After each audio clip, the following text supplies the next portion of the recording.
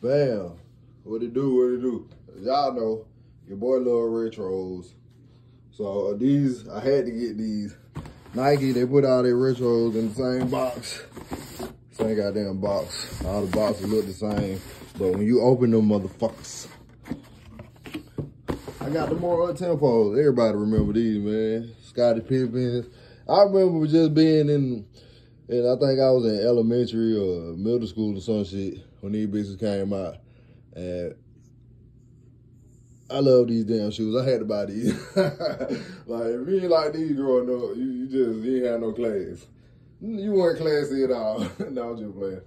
But yeah, I, I, I love these, man. I only buy shoes I really want, so I really wanted these. I had to get these, man. They got, you know, the zoom Air at the bottom.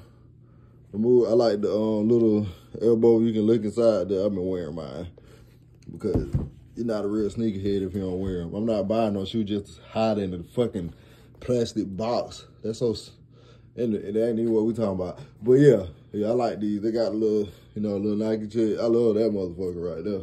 The back of them so motherfucking hard. I got quit cussing. But this is the only thing I don't like is these. I don't like these. That's the only thing I don't like. They make them a little harder to get into. But they ain't going nowhere once they get on your feet, bro. They're not going anywhere. They feel great. I say get a size up on these two.